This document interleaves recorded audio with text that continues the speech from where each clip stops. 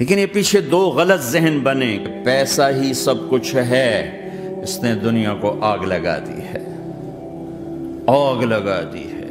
एक आदमी अपनी अच्छी गाड़ी बनाने के लिए और अपना अच्छा घर बनाने के लिए हज़ारों बच्चों को नशे पे लगा देता है।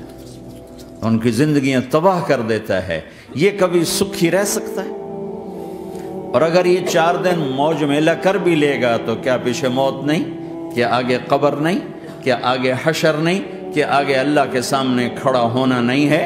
क्या ये दुनिया ऐसे ही चलेगी? नहीं नहीं नहीं। इस कायनात का एक खालिक है जिसका नाम अल्लाह है।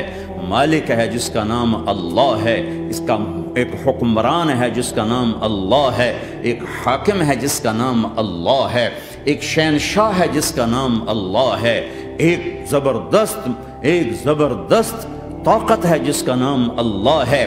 मशरक पर भी अल्लाह है और मगरब पर भी अल्लाह है और शमाल जनूब पर भी अल्लाह है और आसमानों पर भी अल्लाह है और धरती पर भी अल्लाह है। अल्लाह की कसम, मेरा हाथ का यूँ हरकत करने पर भी मेरे अल्लाह का कब्ज़ा है।